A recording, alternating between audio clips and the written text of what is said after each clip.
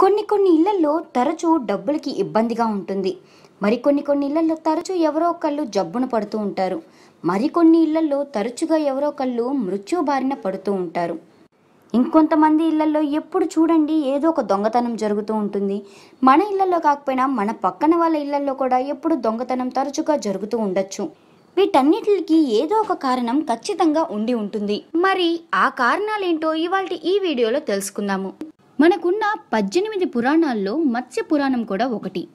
ఈ మత్స్య పురాణంలో మన గృహ నిర్మాణం గురించి ఎన్నో మహత్వపూర్ణమైన మాటలు చెప్పారు. గృహ నిర్మాణము అంటే ఇంటి యొక్క కన్స్ట్రక్షన్ ఏ మంత్లో స్టార్ట్ చేస్తే మంచిదో ఈ పురాణంలో చెప్పారు. ఏ ఏ రోజుల్లో స్టార్ట్ చేస్తే మంచిదో ఆ మంచి ఫలితాలు ఎలా ఉంటాయో ఒకవేళ ఆ రోజుల్లో గనక ఆ నెలల్లో కనుక స్టార్ట్ చేయకుండా మిగతా వాటిల్లో చేస్తే ఎలాంటి పరిణామాలు వస్తాయో ఈ పురాణాల్లో వెల్లడించారు. ఋషిప్రభు ఆత్రి వశిష్ఠ విశ్వకర్మ మాయా నారద నంగజీత విశాలక పురంధర బ్రహ్మ కార్తికేయ నందీశ్వర సౌనక గర్గ వాసుదేవ అనిరుద్ధ శుక్ర మరియు బృహస్పతి. ఇలా పద్దెనిమిది మంది ఋషివన్యులు ఈ పురాణాన్ని వెల్లడించారు. మరి ఏ నెలలో గృహ నిర్మాణం స్టార్ట్ చేస్తే మంచిదో వీళ్ళు ఏం చెప్పారో ఇవాళ ఈ వీడియోలో తెలుసుకుందాము. మత్స్య పురాణం ప్రకారం చైత్రమాసంలో ఏ రోజు కూడా గృహ నిర్మాణం మొదలు పెట్టకూడదట ఒకవేళ చైత్రమాసంలో గనుక గృహ నిర్మాణం మొదలు పెడితే అది చాలా అశుభాలకి దారి తీస్తుంది అని చెప్తున్నారు. చైత్రమాసంలో గనక గృహ నిర్మాణం మొదలు పెడితే ఆ ఇంట్లో తరచూ ఎవరొకరు జబ్బు బారిన పడతారు. ఇక వైశాఖ మాసం గృహ నిర్మాణ కార్యకలాపాలకు మంచిది అని చెప్తున్నారు. అయితే ఎవరైతే వైశాఖ మాసంలో గృహ నిర్మాణం మొదలు పెడతారో వాళ్ళు ఖచ్చితంగా వాళ్ళ ఇంటి మొత్తంలో ఒక చోట ఆవుని పెంచడం చాలా శుభంగా భావించాలి.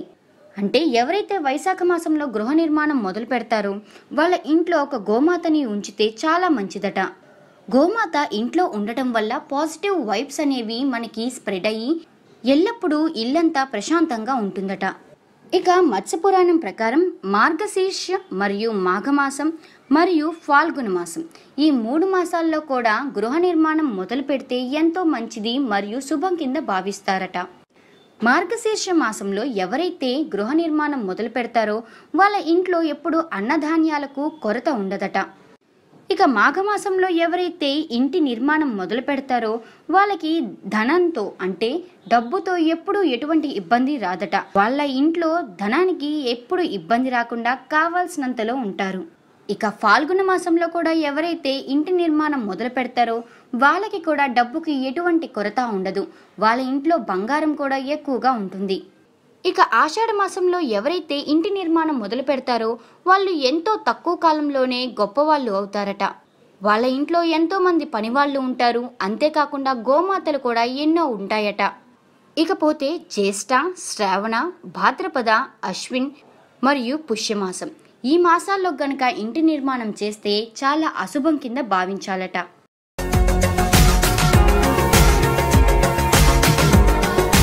మరిన్ని అప్డేట్స్ కోసం మా ఛానల్ని సబ్స్క్రైబ్ చేయండి.